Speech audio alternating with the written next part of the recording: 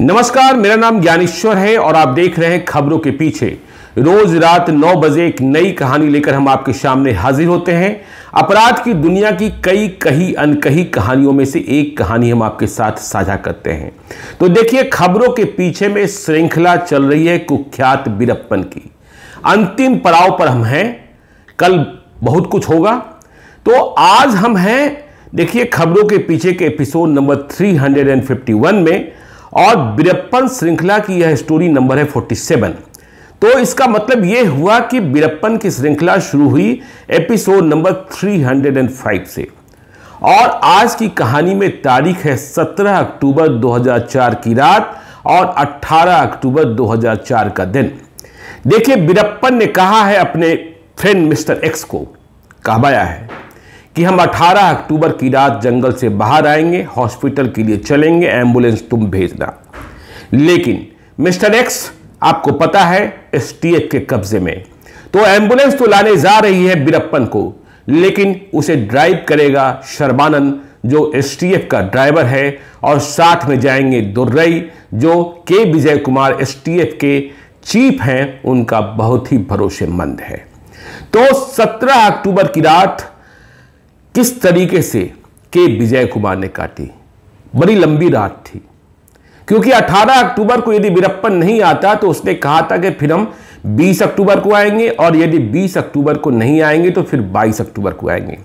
आज की इस कहानी में आप यह भी समझेंगे कि वीरप्पन चाहे जितना होशियार था, अंत समय में कितना बड़ा मूर्ख निकला। तो देखिए 17 अक्टूबर 2004 की रात के विजय कुमार और मिस्टर एस पी कानन, जिन्हें कन्नन भी कहते हैं। अब तक सिर्फ़ इन दो ही लोगों को पता है कि कल मुझे बीरप्पन का काम तमाम करना है। बाकी जो टीम तैयार हुई है, उन्हें यह समझाया गया है कि हम एक बहुत ही कठोर ट्रेनिंग के लिए जा रहे हैं। और के विजय कुमार के लिए जो ट्रेनिंग होती है, वह युद्ध जैसा होता है। सिर्फ़ शर्वानंद और दुर्रही हैं, उन्हें इस बात की जानकारी है कि हमें किसी ऑपरेशन पर जाना है। तो रात का समय, के विजय कुमार अपने बंगले पर। वे रात को सोने की कोशिश करते हैं।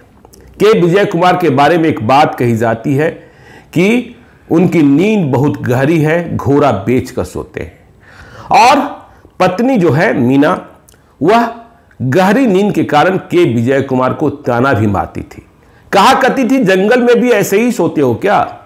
यदि ऐसे ही सोते हो तो बिरप्पन तुम्हें किसी दिन उठा कर ले जाएगा। तो देखिए, मीना को भी पता नहीं है, वाइफ मीना को, कि कुछ होने वाला है। हाँ, इस बात की संभावना दिख रही है कि ये सभी कुछ करने जा रहे हैं। तो के विजय कुमार जो गहरी नींद सोते हैं, घोड़ा बेचकर सोते हैं रात को सोने की कोशिश करते हैं, लेकिन नींद कहाँ आती है? हर आधे घंटे पर नींद खुलती है और वे घड़ी देखते हैं। सुबह आमतौर पर वे छह बजे जगते थे, लेकिन उस दिन फाइनली वे सुबह चार बजे जग गए हैं। और चार बजे जब जग गए, देखिए दिनचर्या थी कि जब वे जगते थे तो पत्नी मीना जो है कॉफ़ी बनाकर लाती थी। तो उन्हें लगा कि चलो आज हम स्वयं कॉफ़ी बना लेते हैं, लेकिन मीना कॉफ़ी लेकर तैयार है, क्योंकि मीना को भी रात भर नींद नहीं आई है। तो अब के विजय कुमार अपनी ज़िंदगी के बारे में सोचने लगते हैं। मीना सामने बैठी है। कुछ ही दिनों पहले इनका जो पेट डॉग था, रिट्रीवर, वो मरा था, जिसे बच्चे बहुत प्यार करते थे। तो उसकी याद आती है। और फिर पत्नी मीना की सुहाग को देखकर सोचते हैं कि इसे अब तक मैंने ज़िंदगी में दिया गया मैं निश्चिंत रहा मैं अपने काम में लगा रहा और यह बच्चों को बड़ा करती रही। सिंदूर देखते हैं और सोचते हैं कि मैंने पत्नी मीना को आज तक एक सोने का करा भी लाकर नहीं दिया। हीरे की बात छोड़ दीजिए। हाँ एक लॉकेट लाकर ज़रूर दिया था। तो देखिए, जिस दिन से के विजय कुमार को वह लॉटरी का टिकट मिला था, जिसमें बीरप्पन के आने की खबर थी, तब से वे प्लान में ही लगे थे। खैर तो उन्होंने कॉफ़ी पी और क्या समझे, नहीं समझे, कॉफ़ी के लिए पत्नी मीना को थैंक यू कहा। पत्नी मीना ने कहा ऑल दी बेस्ट देखिए, के विजय कुमार की दिनचर्या में यह भी शामिल था कि वे जब सुबह उठते थे तो जिंजल के तेल से 10 मिनट तक बहुत तेज गरारे करते थे। आप कह सकते हैं कि हलक तक तेल को ले जाते थे और खंगाल खंगाल कर खांस खांस कर, जितने विषाणु और जितने गर्भत चीज़ भीतर थे, उन्हें बाहर निकाल देते थे। लेकिन आज बहुत बड़ा दिन है। आज ज़िंदगी और मौत का फैसला होना है, जीत हार का फैसला होना है। तो यह काम भी के विजय कुमार आधा ही कर पाते हैं। खैर तो अब वे घर से निकलने को तैयार हो गए हैं। घर पर आज कुछ नहीं होना है। वे जाते हैं सुबह साढ़े छः बजे। एसपी कन्नन, जिन्हें कानन भी कहते हैं, उनके घर पर। वहीं मीटिंग है, क्योंकि सेकंड जो कमांड है, वो उन्हीं के पास है। और वहाँ तमाम लोग बुलाए गए हैं जिन्हें आज की ऑपरेशन में शामिल होना है। इसके पहले के विजय कुमार और मिस्टर कन्नन ने वह जगह जाकर देख ली थी जहाँ एम्बुश लगाया जाना था, जहाँ बिरप्पन को मारा जाना था। उस जगह पर कई परेशानियाँ थीं मतलब साँझ ढलते ही अंधेरा हो जाता था। और जगह देखकर के विजय कुमार ने यह सोचा था कि यहाँ मेरा काम पूरा होगा, भगवान को याद किया था। लेकिन जब वक्त कट रहा होता है और समय की प्रतीक्षा हो रही होती है तो आप जानिए, आपको भी महसूस होता होगा कि आपके भीतर बहुत सारे निगेटिव थॉट्स आते हैं। तो आपके भीतर बहुत सारे निगेटिव थॉट्स आते हैं, पता नहीं क्या हो जाएगा, ये हो जाएगा तो ये गड़बड़ी हो जाएगी। और फिर रात 10 बजे का वक्त, उसे जंगल से निकलना था, आने में वक्त लगता। और चांदनी रात थी रोशनी बिल्कुल हल्की रहती थी और जहाँ एम्बुस के लिए जगह खोजी गई थी, वहाँ इमली के छायादार पेड़ थे जो स्थान को और अंधेरा कर देते थे। खैर तो K Vijay Kumar, SP mister Kannan के ठिकाने पर पहुँच गए हैं, बंगले पर पहुँच गए हैं और वहाँ पूरी टीम मौजूद है, जिसे आज इस ट्रेनिंग को कहें या ऑपरेशन को कहें, क्योंकि अभी ऑपरेशन के बारे में बहुत लोग नहीं जान रहे हैं। उन्हें ब्रीफ किया जाना है। के विजय कुमार मानते हैं कि यदि आप ब्रीफिंग नहीं करते हैं, समझाते सही से नहीं हैं तो समस्या होती है। तो एक सांकेतिक जिसे कहते हैं और जो फॉर्मूला बना हुआ है, इस कठोर टाइप के अभ्यास में ब्रीफिंग का, जिसे आप पुलिस के तौर तरीकों को जानते हो, आर्मी को जानते हो, पैरामिलिट्री फोर्सेस को जानते हो, एसटीएफ को जानते हो तो ये प्रचलित शब्द है S M E S C तो एस मतलब होता है सिचुएशन। हालात के बारे में जानकारी दी जाती है, जिन्हें लड़ना है। एम का मतलब होता है मिशन देखिए मिशन के तौर पर अभी ट्रेनिंग ही बताई गई है। मतलब हमें क्या काम करना है। ई e का मतलब होता है एग्जीक्यूशन कैसे करना है? और एस का मतलब होता है सपोर्ट मतलब जब ऑपरेशन होगा तो आपको सपोर्ट कहाँ कहाँ से मिलेगा। और सी का मतलब होता है कमांड तो कमांड कौन कर रहा है इस ऑपरेशन को? आपको उसकी ही बात सुननी है, और किसी की बात नहीं सुननी है। तो ये जो S M E S C है, इसे पुलिस वाले जब मज़ाक की भाषा में कहते हैं तो कह देते हैं sergeant major eats sugar cookies तो ये मज़ाक की भाषा है। तो खैर ब्रीफिंग के लिए सभी लोग बैठ गए हैं, और के विजय कुमार अपनी बातें कहना शुरू किए। उन्होंने कहा कि सबसे पहली हिदायत तो कि सारे लोग अपने मोबाइल फ़ोन को बंद कर दें। अभी से बंद कर दें। कोई मोबाइल फ़ोन नहीं बजेगा और अपने फ़ोन जमा करा दीजिए। तो देखिए सामने जो ऑपरेशन के लिए तैयार है, उसमें एक बंदा है जो सब इंस्पेक्टर लेवल का है। जब वह फ़ोन बंद कर रहा होता है तो घंटी बच जाती है। वह शर्मा जाता है छिप जाता है। लेकिन ये जो कॉल है, उसकी पत्नी का है। और वह क्या ना करे और क्या करे, फ़ोन को रिसीव कर लेता है। पत्नी परेशान है। वह कह रही है, सुनो, मेरा जो मंगलसूत्र है ना, वह किसी कील में उलझ गया है। मुझे अपशकुन की संभावना आ रही है। तुम सावधान रहना। इसलिए मैंने तुमको फ़ोन किया। कहीं कुछ गड़बड़ न हो जाए। तो के विजय कुमार इस कन्वर्सेशन को सुनते हैं। के विजय कुमार को लगता है, मैं क्या कहूँ? मुझे खुद नहीं पता है कि ज़िंदगी दोबारा वापस लौटेगी कि नहीं लौटेगी, गोली कितनी चलेगी, कौन मारा जाएगा? खैर, सब इंस्पेक्टर बहादुर है। उसने अपनी पत्नी को समझाया, चिंता मत करो तुम। ध्यान रखना अपना और बच्चों का।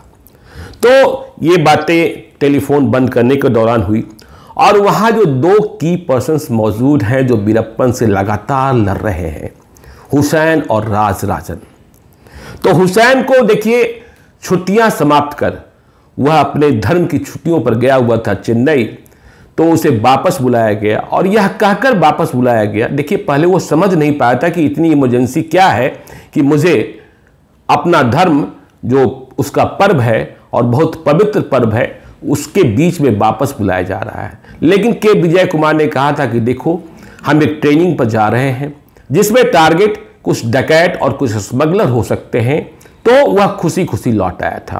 तो हुसैन, जो बात बात में गोली चलाने में मास्टर है, के विजय कुमार समझाते हैं कि देखो भाई, ऐसा है, आज जो है, गोली यदि चलाना पड़े तो बगैर हुक्म के मत चलाना। यदि बगैर हुक्म के गोली चला दी तो सारा खेल खराब हो जाएगा और हमारे दो बहादुर लोग, जिनके नाम सरबानन हैं और दुर्रई हैं, वे मारे जाएँगे। तो पहले हम अपने ही लोगों की शहादत दे देंगे। बाद में क्या होगा, नहीं होगा, मुझे नहीं पता। लेकिन ये दो लोग इतने करीब हो गए और ट्रेनिंग में यह कह दिया गया है कि यदि गोली चलेगी तो गोली कहाँ कहाँ चलेगी। तो अब हुसैन को यह बात समझ में आ जाती है कि जो आज की ट्रेनिंग कही जा रही है, वह कोई ट्रेनिंग नहीं है। यह पसीना बहाने की ट्रेनिंग नहीं है यह तो खून बहाने का युद्ध है तो वह और उत्साहित हो जाता है। वीरप्पन की जानकारी अब भी नहीं दी जाती है। राज राजन और उत्साहित हो जाते हैं, प्रफुल्लित हो जाते हैं कि आज इतने बड़े अभ्यास पर हम चल रहे हैं। तो उनकी टीम में जो लोग हैं, कांस्टेबल्स हैं या और भी जो हैं, उन्हें वे जंप ट्रेनिंग तुरंत कराने लगते हैं। तो देखिए, जंप ट्रेनिंग ये होता है कि आपको झोला, पिट्ठू, हथियार के साथ इस तरीके से ऊपर से नीचे कूदना होता है या नीचे से ऊपर जाना होता है, जिसमें कोई आवाज़ न निकले। मतलब दुश्मन समझ न ले कि किधर से कोई आ रहा है। तो खैर तो ये ट्रेनिंग, अब ये राज राजन भी प्रफुल्लित है, हुसैन समझ चुके हैं, कमिट कर चुके हैं कि गोली तब तक नहीं चलेगी मेरी ओर से जब तक जो कमांड में है ऑपरेशन के, उनका इशारा उनका संकेत नहीं मिलेगा। और ये सारे जो लोग हैं, उन्हें एसपी चिन्ना स्वामी मॉनिटर कर रहे हैं। तभी कानन आते हैं करीब बिल्कुल, के विजय कुमार के पास, और कहते हैं, कोकून आ गई है। कोकून मतलब देखिए, इस ऑपरेशन का नाम ही दिया गया, ऑपरेशन कोकून। तो कोकून का मतलब था, वो एंबुलेंस आ गई है, दुर्रई और सर्वानंद पहुँच गए हैं। तो दुर्रई और सर्बानंद से के विजय कुमार मिलते हैं। कहते हैं, जाने के पहले, रवानगी के पहले शाम का वक्त हो चला है कि कुछ खा लो। अरे, और कुछ नहीं खा सकते हो तो सेब खा लो, डबल रोटी खा लो, लेकिन दोनों खाने से मना कर देते हैं। इसके बाद कानन, जिनके पास वह लॉटरी टिकट, आधी फटी हुई लॉटरी टिकट है, जिसके पहचान के बाद ही बीरप्पन एंबुलेंस में सवार होगा, वह दुर्रई को दे दिया जाता है।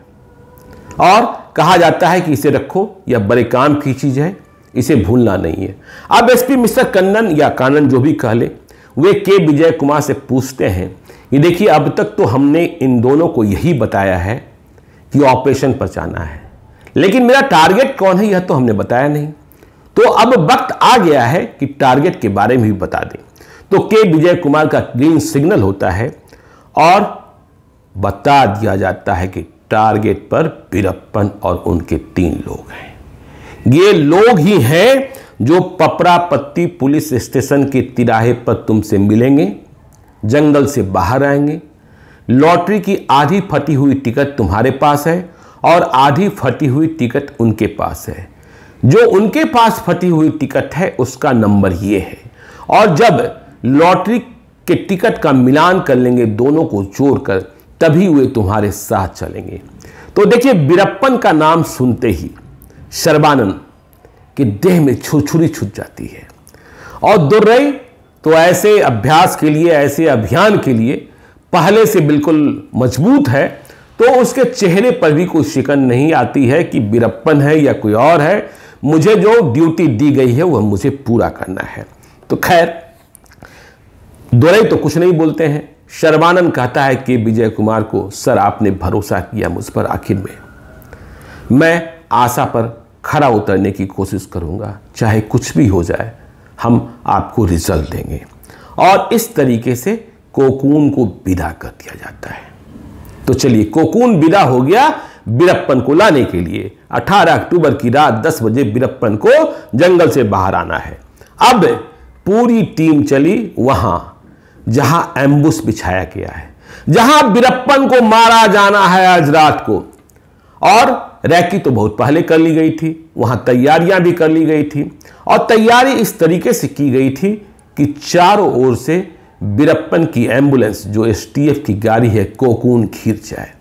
जबकि विजय कुमार और एसपी मिस्टर कन्नन वहाँ पहुँचते हैं तो देखते हैं, ये देखिए एक स्कूल की बिल्डिंग है, पारी के पास।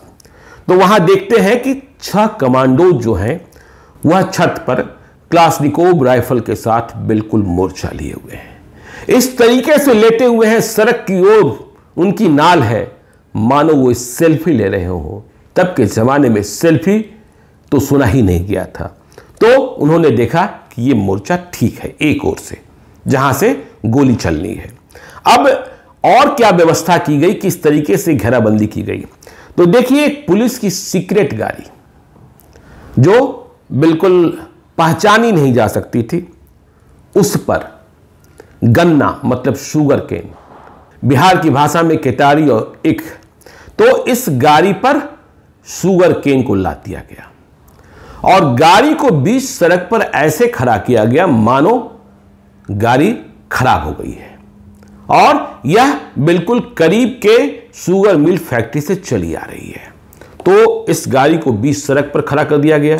ताकि जब कोकून पीछे से आए मतलब एंबुलेंस पीछे से आए, जिस पर बीरप्पन और उनके लोग सवार हैं तो यह गाड़ी रास्ते में आगे बढ़ने के पहले अवरोधक बन जाए, कोकून रुक जाए। और इस गाड़ी में, जिसमें शुगर केन की गाड़ी, आप कह इसे मिठाई का डब्बा भी कहा गया कोटबर्ड में, इसमें एसटीएफ के तीन टेक्निकल एक्सपर्ट बैठे हैं, उस केतारी के भीतर। और इनका काम यह है कि कोकून मतलब वो एंबुलेंस जिसे भेजा गया है और जिसके भीतर भगवान की तीन तस्वीरें लगी है और उन्हीं तस्वीरों में से एक तस्वीर है वेंकटेश्वर बालाजी की, जिनकी आँख में जासूसी कैमरा फिट किया गया है। उसका सिग्नल इन टेक्निकल एक्सपर्ट्स को मिलना है। तो ये टेक्निकल एक्सपर्ट्स उस सिग्नल को प्राप्त करेंगे, गाड़ी के मूवमेंट को प्राप्त करेंगे और फिर वे आगे जो ऑपरेशन के कमांडर हैं के विजय कुमार और एसपी मिस्टर कन्नन उसे फॉरवर्ड करेंगे। तो इस तरीके की तैयारी हो गई। तो अब देखिए, ये अब सड़क को रोका गया।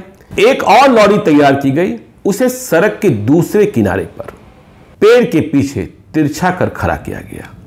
तो ये जो लॉरी थी, इस लॉरी में आगे के आधे हिस्से में मिट्टी भरी हुई थी।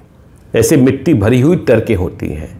तो आधे हिस्से में मिट्टी भरी हुई थी और जो पिछला आधा हिस्सा था, उसमें एसटीएफ के कमांडोज खड़े थे। छुपकर। तो इसलिए कि जब कोकून बिल्कुल करीब आ जाएगी तो गोली इधर से भी चलेगी, छत से भी चलेगी, और जो टेक्निकल एक्सपर्ट बैठे हैं, वे भी कमांडोज हैं, वे भी गोली चलाएँगे। तो ये काम हो गया। और एसटीएफ के इंस्पेक्टर चार्ल्स, उन्होंने तो जादू ही कर दिया था। देखिए, मैंने पहले ही बताया कि जो एम्बुस की जगह चुनी गई थी वहाँ अंधेरा था। तो रात में क्या होता? देखिए, एंबुलेंस की लाइट है, लेकिन एंबुलेंस की लाइट से आप निशाना नहीं सा सकते हैं। और वहाँ बहुत पहले रोशनी जलाई भी नहीं जा सकती थी। यदि रोशनी ऐसी जगह पर पहले से जलाई जाती तो शक होता, शुभा होता। और तो इंस्पेक्टर चार्ल्स ने क्या किया कि सेल्फी स्टिक देखिए, उस जमाने में नहीं आया था। लेकिन सेल्फी स्टिक जैसे डंडे उसने खोज निकाले। और डंडे के एक छोर पर उसने लाइट फिट कर दिया स्पॉटलाइट और स्पॉटलाइट इस तरीके से फिट कर दिया गया कि वह कोकुन जहाँ आकर रुके, उसे सीधे रोशनी फेंके। देखिए, दुर्रई और सर्वानंद को, जो एंबुलेंस लेकर गया है बीरप्पन को लाने उसे पहले पूरा मैप समझा दिया गया था कि तुम्हें आकर कोकुन को रोकना कहाँ है। तुम जब वहाँ पहुंचोगे तो आगे आ, बढ़ने का रास्ता ट्रक रोके रखेगी जो बिल्कुल मिठाई का बक्सा है जिस पर शुगर केन है तो तुम्हें नीचे उतरना है लेकिन तुम्हें रुकना कहाँ है? तो ये जो स्पॉटलाइट तैयार कर दिया गया और इसके साथ साथ ही जो ट्रैफ़िक के कोन्स होते हैं वह भी फिट कर दिए गए। और इसे तब जलाना था जब कोकुन यहाँ तक पहुँचने में उसे मात्र 30 सेकंड का वक्त रहे। मतलब यह भी सिग्नल था कमांडोज को कि देखो, लाइट जग गई है, जगमग हो गया है, और अब तुम्हें ऑपरेशन कर देना है। अब इसके पीछे देखिए, इस जो कोकून जो आ रही थी, उसके दूर पीछे एक सिविलियन गाड़ी में डीएसपी थीरू थे। और उनका काम यह था कि कोकून को आगे जाने दीजिए, आप थोड़ा पीछे रहिए, और यह देखे रहिए कि अब आपके पीछे से कोई गाड़ी ना आए। क्योंकि मुठभेड़ ऐसी जगह की जानी है जहाँ सिविलियन को नुकसान ना हो। तो डीएसपी थ्रू एक सिविलियन गाड़ी में पीछे से चले आ रहे हैं, कोकुन देख नहीं पा रहा है और वह पीछे से ट्रैफ़िक को ब्लॉक किए हुए हैं। तो अब देखिए इस तरीके से हो गया। अब देखिए चारों तरफ़ से घेराबंदी हो गई है। एक और डीएसपी जिनकी ड्यूटी लगाई गई थी, वो धर्मापुरी के पूर्व इलाके में थे। जिनका काम था रास्ता रोकना, ताकि कोई इधर से ना आए। पीछे से थिरू इधर से डीएसपी जो धर्मापुरी के पास लगे हुए थे। और एक कुमार सेन थे, इंस्पेक्टर। देखिए, इन्हें ऑपरेशन के बारे में पता था। और इन्हें एक ऐसी जगह बैठाया गया था, जहाँ इस बात की संभावना थी कि वहाँ बीरप्पन के लोग मुखबिर के तौर पर मौजूद हो सकते हैं। तो देखिए, ये जगह थी पपड़ापट्टी पुलिस स्टेशन जहाँ से बीरप्पन को बाहर आना था और वहाँ के बीच जहाँ यह एम्बुस लगाया गया था। तो बीच में एक ढाबा था। तो ये जो इंस्पेक्टर कुमार सेन थे वह ढाबे पर, इसी ढाबे पर बिल्कुल अनमने ढंग से खाना खाने का नाटक कर रहे थे। और इन्होंने अपने को खल्ली बेचने वाला व्यक्ति बना रखा था। तो इसलिए बना रखा था और इसलिए वहाँ थे कि उन्हें इस बात की आशंका थी के विजय कुमार को कि यदि कहीं बीरप्पन ने बीच रास्ते में कहीं अपना आदमी बैठाया होगा तो यही एक ढाबा होगा। तो इस तरीके से ये एम्बुस की जगह पूरी तैयार थी और उधर कोकून चलते चलते वहाँ पहुँच गई। कोकून में दोनों जा रहे थे, दुर्रई और सर्बानंद बीच रास्ते में शर्बानंद ने दुर्रई से कुछ बातचीत करने की कोशिश की, लेकिन दुर्रई तो बिल्कुल मिट्टी की मूर्त थे, पत्थर की मूर्त थे, कुछ बोलते ही नहीं थे। तो दुर्रई ने मना कर दिया। अब फाइनल डेस्टिनेशन तक पहुँचने के पहले ऐसा हुआ कि शर्बानंद को साइकिल पर जाते हुए चार पुलिस वाले दिख गए। गश्ती पर निकले थे। अब सर्वानंद परेशान हो गया। उसने इशारों इशारों में दुर्रई को कहा कि ये क्या? तो दुर्रई ने कहा, चुप रहो, क्या ये हमारी ओर ही आ रहे हैं? या कैसे हम कह सकते हैं? तो खैर, चुप करा दिया गया और हुआ भी वही कि जो साइकिल गश्ती वाले सिपाही थे, आगे निकल गए। अब रात के नौ बजकर पचपन मिनट हुए हैं। पाँच मिनट बचा है बीरप्पन के बाहर आने का। तो देखिए, बीरप्पन की बुद्धि कैसे मरी अंत समय में, बीरप्पन यह भी कर सकता था कि वह एक आदमी को बाहर भेजता अंतिम समय में स्थान बदल लेता। जिधर एंबुलेंस ने रास्ता चुना था, उधर से रास्ता रिपीट कर लेता, लेकिन यह सब नहीं होता है। तो अब पाँच मिनट के बाद बीरप्पन बाहर आएगा। और मुलाकात कैसे होगी? आगे वह खल्लास कैसे होगा? यह बताएँगे आपको खबरों के पीछे के एपिसोड नंबर 352 में कल रात 9 बजे, कल रात 9 बजे ऑपरेशन बीरप्पन समाप्त होगा। पूरी कहानी रोमांचक होने वाली है, बहादुरी की कहानी है और आतंक के खात्मे की कहानी है। तो इंतज़ार कीजिएगा कल रात 9 बजे का। और चलते चलते, यदि अब तक आपने हमारे यूट्यूब चैनल खबरों के पीछे को सब्सक्राइब नहीं किया है तो ज़रूर कर लीजिएगा। एक और अनुरोध कि यदि आप कोई भूल सुधार चाहते हैं, सीधे तौर पर मुझसे संपर्क करना चाहते हैं, कोई कहानी बताना चाहते हैं, कोई कहानी सुनाना चाहते हैं तो आप हमें Gyaneshwar live at the rate Gmail dot com पर मेल कर सकते हैं। बस इसका ख्याल रखिएगा कि यदि कोई विशेष कहानी सुनाने को कह रहे हैं, बताने को कह रहे हैं तो उस कहानी मतलब बादात की तारीख, साल, स्थान का पता हमें ज़रूर बताइए। हम अपनी डायरी के पन्नों में तराशेंगे। ज़रूरत होने पर हम अपनी रिसर्च टीम को कहेंगे। मेल करते वक्त आप अपना नंबर भी ज़रूर लिखकर भेजिए। हम आपकी पहचान को तब तक गोपनीय रखते हैं जब तक आपसे अनुमति न प्राप्त कर लें। तो आज के लिए इतना ही। हमें दीजिए इजाज़त। बहुत बहुत धन्यवाद। मिलेंगे कल रात नौ बजे।